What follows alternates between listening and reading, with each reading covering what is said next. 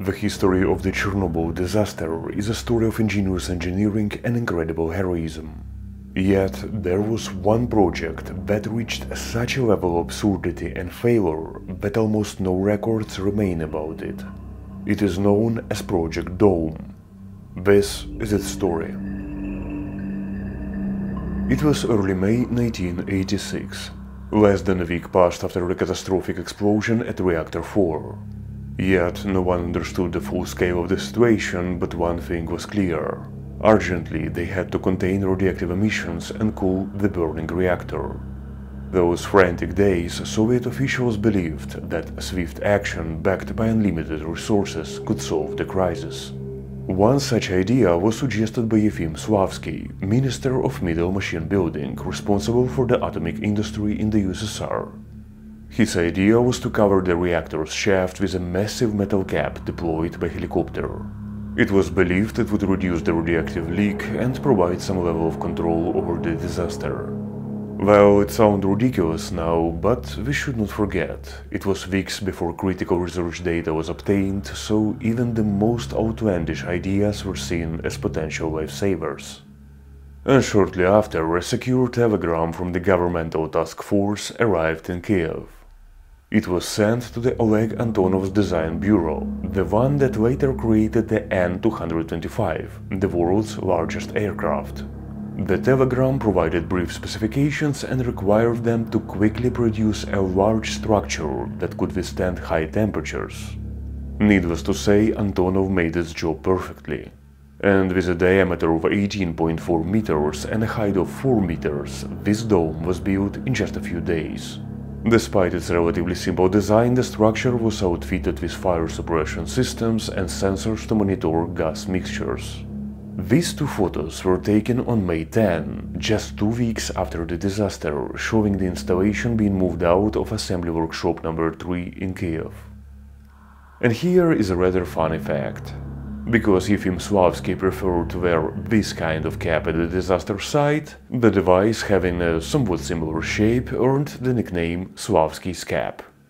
The only viable method to transport such a heavy load was by air, using the mighty Mi-26, the world's most powerful serially produced helicopter at the time.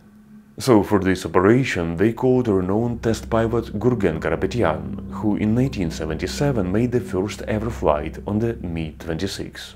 On May 10, the same day, the dome was moved from Kiev to Gostomel, a suburb where the main airfield of the Antonov Bureau is located. Immediately flight training began for lifting and transporting this 8-ton installation. These exercises were conducted under the watchful eyes of Antonov's chief designer Petro Balabuyev and Mil Bureau chief designer Marat Tishchenko. At their side everything looked good, and by May 29 the general designers reported that the dome was ready for installation.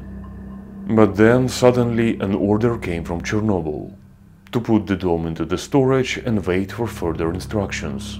In fact, this left the team full of questions. And with a great effort, we have combined together accounts that provide insight into madness this project actually turned into. One of them comes from Valery Legasov, a deputy head of the Kurchatov Institute and a member of the task force in Chernobyl. There was a huge amount of radioactivity ejected from the reactor, and the dry weather and movement of equipment on site was spreading it all around. Well, this led many to assume the reactor was still breathing, and the lack of reliable data created quite a nervous atmosphere for all of us. Amid the rumors, strange projects emerged, like installing that dome on Reactor 4. I was against that plan from May onward, because even if installed, it would have only obstructed sarcophagus construction, without any positive outcome. More details are provided by Leonid Bolshov, a physicist and another member of the task force. One day at a meeting, I learned that in Kiev they had built that cap. I immediately rushed to my group's building, grabbed a sheet of paper and wrote a report to the task force declaring that the idea was fundamentally wrong. Because our calculations showed that it was uncertain whether this cap could be properly positioned at all. And even if it succeeded, it would have turned the reactor into a sort of pressure cooker. This lead would alter the thermal flow, making the core overheating, and eventually the cap would be just blasted away by steam. So I began fighting against this idea, and initially everyone supported me. But gradually opinions started to change. I even approached Boris Shcherbina, the head of the task force, but my influence paled comparing to Yefim Slavsky. It was madness, and then suddenly I learned that this cap had been already delivered to Chernobyl and tests were about to start. It was July 19. Well, it was indeed madness because at that moment the first design concepts of the sarcophagus were emerging and a few probes had already been inserted into the reactor to take readings. But according to Bolshov, back in early May, Slavsky had promised Gorbachev that the reactor would be closed shortly. So even though new data later made the minister see things more realistically, Moscow still demanded results. And so, on July 19, a manager from Chernobyl arrived at Gostomel. Chief designers insisted that Gurgen Karapetyan took a long pause, so he should once again undergo training to carry the dome. But their concerns were ignored, and it was taken to Chernobyl city by an untrained crew. The next day, this crew began testing it. Anatoly Shevchenko, deputy head engineer of one of the contractors, recalls how ridiculous it actually was. So they brought it to the Chernobyl helipad, and no matter how much we explained it would not work, we were forced to train for this operation. It was obvious it would become unstable in the air due to the rising heat, and of course we said that, but all the bosses just looked away and replied, Moscow ordered it, so do the job.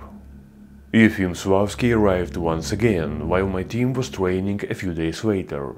Using four cables with a group of five men on each, we formed a circle roughly the size of the reactor to maneuver the dome.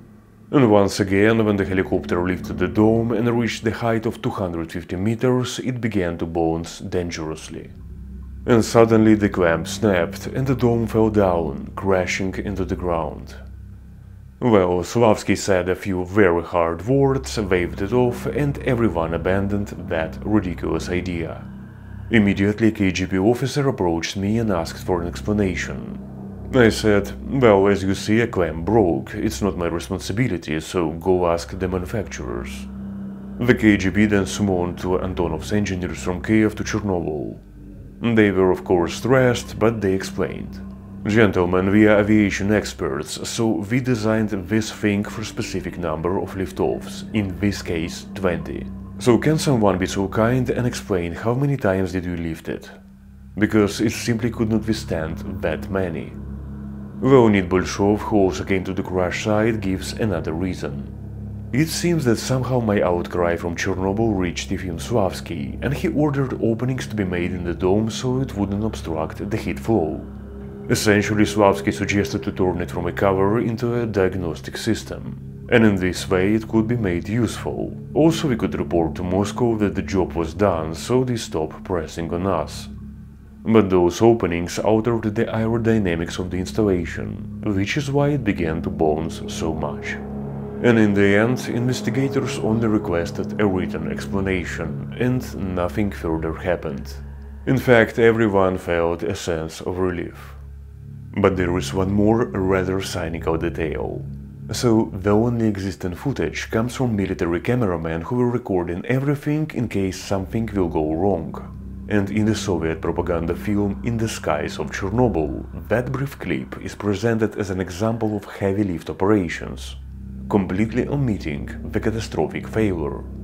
And it looks that apart from this movie, this story was never ever mentioned anywhere in Soviet sources, because it is so clearly illustrates the disorganization in the first months following the Chernobyl disaster. And years later, it is mostly remembered as an example of how the efforts of top-class engineers were completely derailed by Soviet management. And yet, if you think about operations and works undertaken in the months following this crash, it is probably even good that it worked out the way it did. This is just one of the obscure stories of Chernobyl and we'll continue exploring them in our future episodes. Until then, check out our Patreon page for half a thousand posts, each offering unique insights into Chernobyl, often close and personal. This episode is a part of a series, so be sure to check out our other documentaries because we have many many fascinating stories to share. Thank you for watching and see you next time in the next episode of Chernobyl Uncharted.